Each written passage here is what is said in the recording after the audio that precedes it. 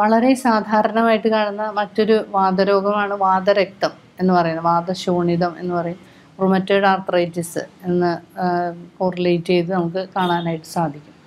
വാതരക്തത്തെക്കുറിച്ച് പറയുമ്പോൾ ജനറലായിട്ട് ഇപ്പോൾ ഒരു വാതരക്തം ഉണ്ടാകാനുള്ള കാരണം എന്ന് പറയുന്നത് വിദാഹിയായിട്ടുള്ള ആഹാരങ്ങൾ അല്ലെങ്കിൽ ഉൾപ്പുഴുക്കുള്ള ആഹാരങ്ങൾ ധാരാളം കഴിക്കുക അങ്ങനെ നമ്മുടെ ഒരു അന്നരസം ദുഷിച്ചിട്ട് അത് രക്തദുഷ്ടിയെ ഉണ്ടാക്കുന്നു. ആ രക്തം ദുഷിച്ചിട്ട് വാത കൂടിച്ചേർന്ന്. അല്ലെങ്കിൽ വാതാനുബന്ധം ഇപ്പോൾ രക്തദുഷ്ടി ഉണ്ടാകുമ്പോൾ അത് നാച്ചുറലായിട്ട് സ്രോതോരോധത്തെ ഉണ്ടാക്കുകയും മറ്റ് ധാതുക്കളെ രസം രക്തം മാംസം മേധസ് അങ്ങനെയുള്ള സപ്തധാതുക്കളിലേക്ക് അത് ക്രമേണ ദുഷിപ്പിച്ചിട്ട് സ്രോതോരോധത്തെ ഉണ്ടാക്കി പല വിധത്തിലുള്ള ലക്ഷണങ്ങളെ കാണിക്കുകയും ചെയ്യുന്നത്. ഇതിന് പ്രധാനമായിട്ടും രണ്ട് സ്റ്റേജസ് ആയിട്ട് പറയും. ഉത്താനം അല്ലെങ്കിൽ ഗംഭീരം എന്ന് പറയും. ഉത്താനം എന്ന് പറഞ്ഞാൽ ആദ്യം രസം രക്തം മാംസം മുതലായിട്ടുള്ള ഒരു ആദ്യത്തെ ധാതുക്കളുടെ രക്തം മാംസത്തെ മാത്രം ദൂഷിപ്പിച്ച് വരുന്ന ഒരവസ്ഥ.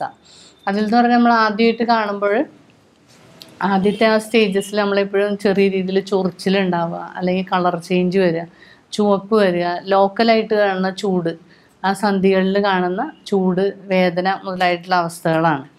അതിന് മറ്റ് ധാതുക്കളെയും ആശ്രയിച്ച് കൂടുതൽ പൊട്ടിയൊലിക്കുന്ന സ്വഭാവം അല്ലെങ്കിൽ നീര് വരിക ചൊറിഞ്ഞു പൊട്ടുക കാലിന്റെ പാദങ്ങളെയൊക്കെ ആശ്രയിച്ചിട്ട് നീരും വേദനയും വ്രണമായിട്ട് വരുന്ന അവസ്ഥ അതിന് ഗംഭീരം എന്ന് പറയുന്ന അവസ്ഥ. അപ്പോൾ ഇതിലെന്ന് പറഞ്ഞാൽ ഏറ്റവും വാദത്തെയും രക്തത്തെയും ഹനിപ്പിക്കുന്ന അല്ലെങ്കിൽ അതിന് രണ്ടിനും ചേരുന്ന രീതിയിലുള്ള ചികിത്സകളായിരിക്കും നമ്മൾ കൊടുക്കേണ്ടത്. അപ്പോൾ ആദ്യത്തെ ആ സ്റ്റേജസിൽ ഉത്താനം ആയിട്ടിരിക്കുന്ന അവസ്ഥയിൽ നമുക്കറിയാം സ്കിന്നിൽ വരുന്ന റാഷസ് അല്ലെങ്കിൽ ചൊറിച്ചിൽ കളർ ചേഞ്ച് അങ്ങനത്തെ അവസ്ഥകളൊക്കെയാണ് വരിക. അപ്പം അതിന് ശുദ്ധീകരിക്കത്തക്ക രീതിയിലുള്ള ചികിത്സകൾ സ്കിൻ പ്രോബ്ലത്തിന് നമ്മൾ കൊടുക്കുന്ന രീതിയിലുള്ള കഷായങ്ങൾ ഉപയോഗപ്പെടുത്താം.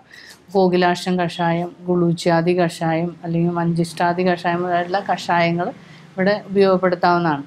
അതുപോലെ മറ്റ് സ്റ്റേജസിലേക്ക് വരുമ്പോൾ അപ്പോൾ വേദനയെ മാറ്റാനും പൊട്ടി ഒലിക്കുന്ന ഒരവസ്ഥയൊക്കെ വരുമ്പോൾ എപ്പോഴും ഗുൽഗുലുതിക്തം മുതലായിട്ടുള്ള കഷായങ്ങൾ ഉപയോഗപ്പെടുത്തേണ്ടതായിട്ട് വരും. പിന്നെ ഇവിടെ നമ്മൾ ശ്രദ്ധിക്കാനുള്ളത് അതാത് സ്റ്റേജസിനനുസരിച്ചുള്ള ചികിത്സകളാണ് നമ്മളെപ്പോഴും കൊടുക്കേണ്ടത്. ഇത് ഒരു ഇത്തരത്തിലുള്ള രോഗങ്ങൾ എന്ന് പറഞ്ഞാൽ ദീർഘകാല അനുബന്ധിത്വമുള്ളതാണ് നമ്മളെന്ന് പറഞ്ഞാൽ വളരെയധികം നാൾ നിൽക്കും. നമുക്ക് മാറി മരുന്ന് കഴിച്ചൊന്ന് മാറിയെന്ന് തോന്നിയാലും വീണ്ടും അതിന് അതിനോട് അതിനോടനുബന്ധമായിട്ടുള്ള സാഹചര്യങ്ങൾ വരുമ്പോൾ അത് വീണ്ടും പ്രശ്നം ഇതുപോലെ ചൊറിച്ചിലും പൊട്ടലും വേദനയും നീരും ഒക്കെ ആയിട്ട് വരാം. ഇവിടെ നമ്മൾ പിത്തഹരമായിട്ടുള്ള അല്ലെങ്കിൽ പിത്തരക്തഹരമായിട്ടുള്ള ചികിത്സകളാണ് ഉപയോഗപ്പെടുത്തുക നമ്മൾ ഏറ്റവും വേനൽക്കാലത്ത് അല്ലെങ്കിൽ ചൂട് അധികരിച്ചിരിക്കുന്ന കാലാവസ്ഥയിൽ ചൂട് കൂടിയിരിക്കുന്ന അവസ്ഥയിലൊക്കെ പലപ്പോഴും ഈ രോഗം അല്ലെങ്കിൽ ഇത് കൂടുന്ന അധികരിച്ചു വരുന്നതായിട്ട് നമുക്ക് കാണാനായിട്ട് സാധിക്കും. ഇവിടെ നമ്മൾ ഉപയോഗിക്കുന്ന ഔഷധങ്ങൾ എന്ന് പറഞ്ഞാൽ ക്ഷീരധാര പോലുള്ള ചികിത്സകൾ അതുപോലെ ജഡാമയാതി ചൂർണം ഗൃഹധൂമാതി ചൂർണം മുതലായിട്ടുള്ള ചൂർണങ്ങൾ ഉപനാഹസ്വേദത്തിനായിട്ട് ഉപയോഗപ്പെടുത്തുക അതുപോലെ ത്രിഫലത്തുണ്ട് അമൃത് അമൃത സമൂലം വെന്തത വെള്ളം കൊണ്ടൊക്കെ ധാര കോരാനായിട്ട് ഉപയോഗിക്കും. വാദ രക്തഹരമായിട്ടുള്ള ഔഷധങ്ങളും ചികിത്സകളും ഒക്കെയാണ് ഏറ്റവും ഉപയോഗപ്പെടുത്തുക അതാത് സ്റ്റേജസിനനുസരിച്ച് വേണം കഷായങ്ങളും ചികിത്സകളും നിർദ്ദേശിക്കേണ്ടത്. എന്ന് പറഞ്ഞാൽ വളരെ പത്യനിഷ്ഠയോടുകൂടി ചികിത്സിക്കേണ്ട ഒരു രോഗാവസ്ഥയാണ്. മത്സ്യമാംസങ്ങൾ ഉപേക്ഷിക്കുക അതുപോലെ അധികം സ്നിഗ്ധങ്ങളായിട്ടുള്ള കൊഴുപ്പ് കൂടുതലായിട്ട് അടങ്ങിയിട്ടുള്ള ആഹാരങ്ങൾ ഉപേക്ഷിക്കുക മിൽക്ക് പ്രോഡക്ട്സ് അതുപോലെ പാലും പാൽ ഉൽപ്പന്നങ്ങളൊക്കെ അധികം കഴിക്കുന്നതിൽ നല്ലതായിരിക്കില്ല. വിദാഹികളായിട്ടുള്ള ആഹാരങ്ങൾ എരിവ് പുളി മുതലായിട്ടുള്ള കൂടുതൽ ഉപയോഗിക്കുക അതൊക്കെ ഉപേക്ഷിക്കുക. വളരെ ശ്രദ്ധാപൂർവം ആ, പത്യനിഷ്ഠയോടുകൂടിയ ആഹാരവും ഔഷധവും കൊടുത്തു വേണം ഇതിനെ ചികിത്സിക്കേണ്ടത്.